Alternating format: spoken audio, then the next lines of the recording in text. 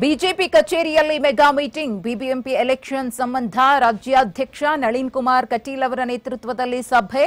CM ಭೇಟಿಯ ನಂತರ BJP ಕಚೇರಿಯಲ್ಲಿ ರಣತಂತ್ರ. ಇವತ್ತು ಬೆಳಿಗ್ಗೆ ಸತತ ಮೂರು ಗಂಟೆಗಳ ಕಾಲ ಸಿಎಂ ಜೊತೆಗೆ ಕಟೀಲ್ ಅವರು ಚರ್ಚೆಯನ್ನ ಮಾಡಿದ್ರು.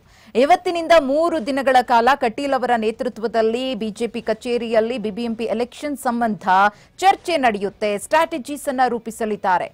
ಬೆಂಗಳೂರು ಜಿಲ್ಲಾ ಮುಖ್ಯಸ್ಥರ ಜೊತೆಗೆ ಚರ್ಚೆಯನ್ನ ಮಾಡ್ತಿದ್ದಾರೆ ಕಟೀಲ್.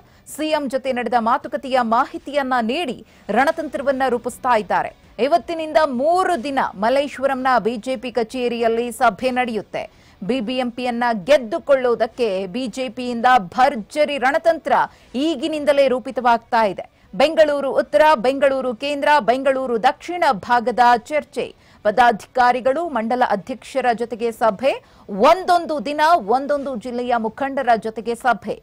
ಒಂದು ವರ್ಷದಿಂದ ಬಿಬಿಎಂಪಿ ಎಲೆಕ್ಷನ್ ನೆನೆಗುದಿಗೆ ಬಿದ್ದಿದೆ.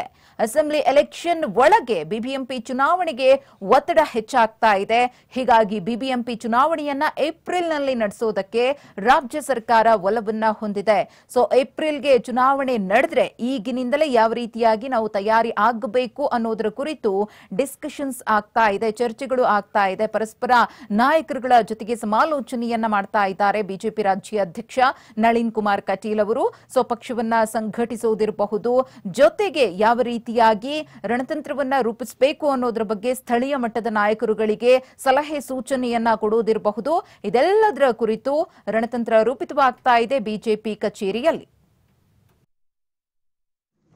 ಕಾರ್ಯಾಲಯ ಏನಾಗಿದೆ?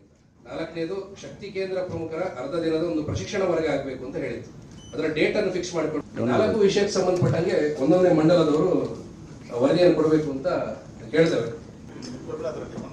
ಮಾಧ್ಯಮದ ಎಲ್ಲ ಮಿತ್ರರಿಗೂ ಕೂಡ ಧನ್ಯವಾದಗಳನ್ನು ಸಮರ್ಪಣೆ ಮಾಡ್ತೀನಿ